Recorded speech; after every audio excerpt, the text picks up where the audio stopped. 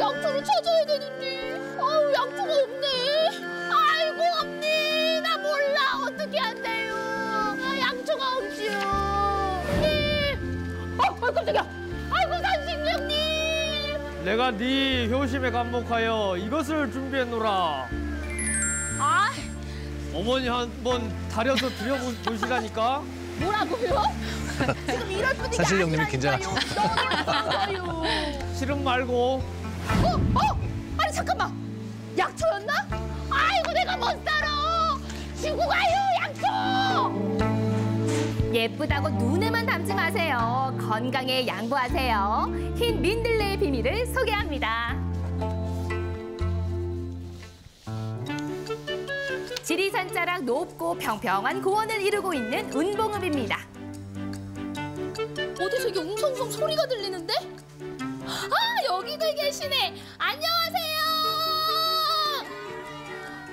아유 아이고 령지 아이고 야 아니 여기에 죄다 온통 꽃밭이네 보기에도 예쁘지만 잎부터 꽃 뿌리까지 우리 몸에 좋은 성분들로 가득하다는데요 꽃밭도 되고 약밭도 되고 좋은 거야. 아니 꽃밭도 되고 약밭도 되고 아, 아? 약도 되고 꽃도 되고. 이거 하나만 입에다 이거 아유, 깜짝이야. 어디? 나도 먹어볼게. 응. 자, 응. 진짜 좋아. 없어 아유 이게 쓰네 아, 써도 좋아. 응 아유 응, 쓴게야 그게. 응. 응. 어머님도 살짝 표정이 안 좋으신데 못 삼키시는데 지금 텐터 오늘 안 넘어가서 그래. 아, 잘했다, 잘했어. 맛있어, 맛있어. 어머니 귀여우세요. 그렇죠. 다양한 미네랄과 비타민 등을 풍부하게 함유하고 있어서 예부터 약재로 쓰여왔습니다. 뿌리가 최대한 손상이 가지 않도록 뿌리 끝부분부터 잎을 이렇게 잡아다니면 뚝 소리가 나요. 오 그러네. 그럼 뜯은 데서 세입이 다시 나오는 잎이 또 거예요? 자라나요. 너무 좋다. 일하는 게 아닌 것 같아요. 10여 년 전만 해도 흰 민들레를 재배하는 곳이 거의 없었다는데요.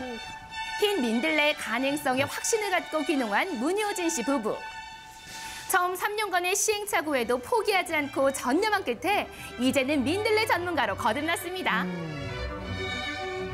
아니 근데 이게 노란 민들레랑 흰 민들레랑 같은 민들레 아니에요? 그러게요. 어 노란 민들레는 서양 민들레이고요. 그 중에 흰 민들레는 이제 우리나라 세 개 우리나라밖에 없고요. 노지 재배를 하면 얘가 노란 민들레에 져서 또 숨어 들어가 버려요. 아. 네. 그래서 노지 재배가 힘들고 이렇게 시설 재배를 해야 더 안전하게 키울 수 있죠. 이제 애기 아빠가 귀농을 한다니까 어, 믿고 제가 의지하니까 어, 여기까지 온 것 같아요. 도시나 논밭 근처에서 자란 민들레는요 중금속이나 농약 등에 노출되어 있는데요. 그렇죠. 이곳 흰 민들레는 청정 자연에서 키워내 걱정 없습니다.